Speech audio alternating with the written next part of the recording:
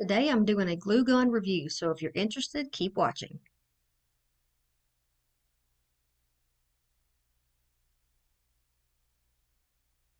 I only give my honest opinion. So here's the glue gun.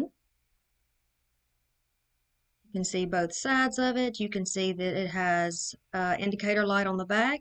You have a high and low, which is 80 and 120 watts. You can use it with or without the cord. It is a full-size glue gun.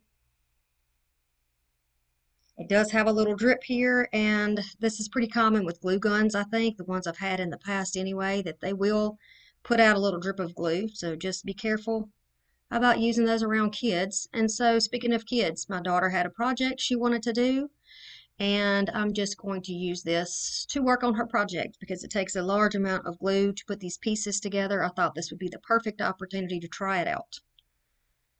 So it does put out a very thick line of glue, uninterrupted. I didn't notice any bubbling or spitting with the glue.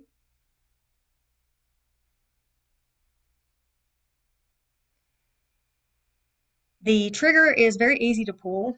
Um, I have small hands and I was able to pull it with no problem whatsoever. It did come with finger protectors in three different sizes that are very easy to put on and they do work if you touch that tip. It is lightweight. It doesn't have a stand to put on it because it sits on the bottom and it is well balanced. It doesn't fall over, which was great because my daughter was right there with me. And it did stay hot when we used it um, as the cordless in the cordless option.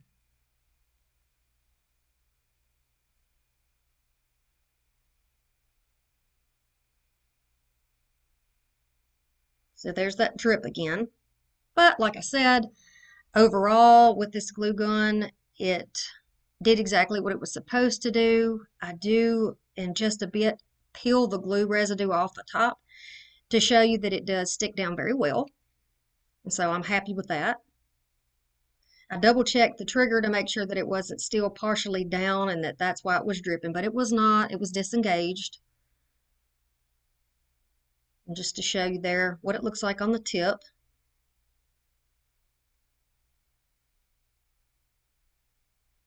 There's a little more of a drip. But now some time had passed by. It had been, I think, two minutes when you saw that stream coming out there. And it was on high heat.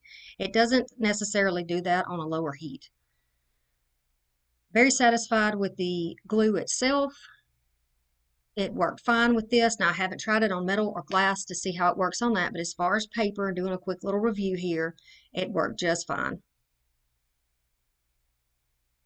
I did ask my little girl, who is seven years old, what her opinion was on this item, and she gave it a thumbs up.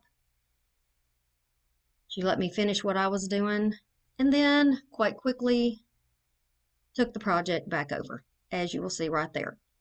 If you're interested, you can find this item on Amazon.com. Thanks for watching.